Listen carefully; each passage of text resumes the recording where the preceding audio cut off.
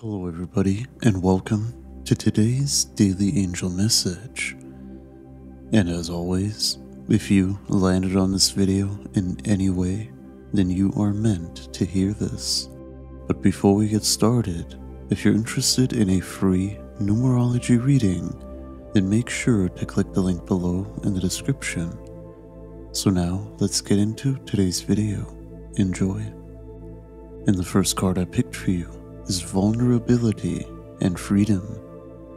There are people in your life who might find your sincerity and honesty irritating, and sometimes they take the chance to augment their own self esteem by treating you poorly.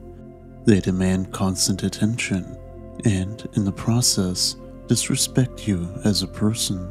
Those people are afraid of you. They know that your openness and vulnerability are your strengths.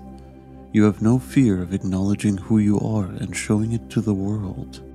You understand that your vulnerability gives you freedom, a freedom others admire but also envy.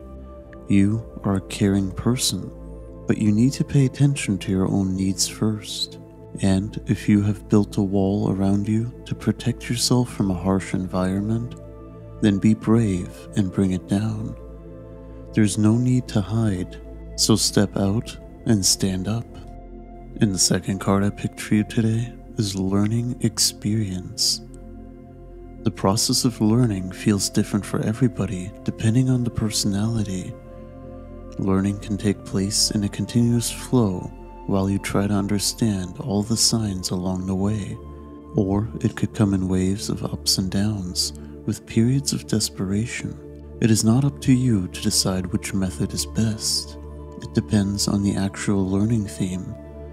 Learning with moments of ups and downs can bring a profound experience because it demands your full attention. And, in the end, you emerge as a stronger person. So don't resist a challenge. And, if you are in a desperate situation, trust your angels.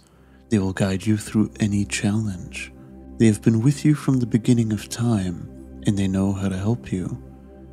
And just remember, you are a strong person.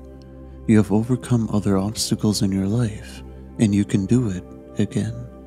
So, being an independent but sensible person takes work throughout your life. Your commitment to take care of your soul by following what your heart and intuition tell you is important for your happiness.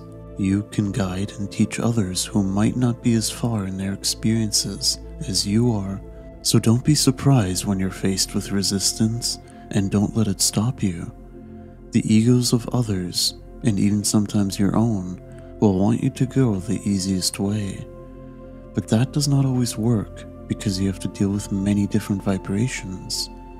So it's crucial to raise your energy to a higher level and not let anybody distinguish your light.